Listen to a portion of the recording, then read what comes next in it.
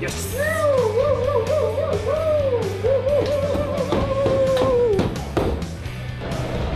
That's cool.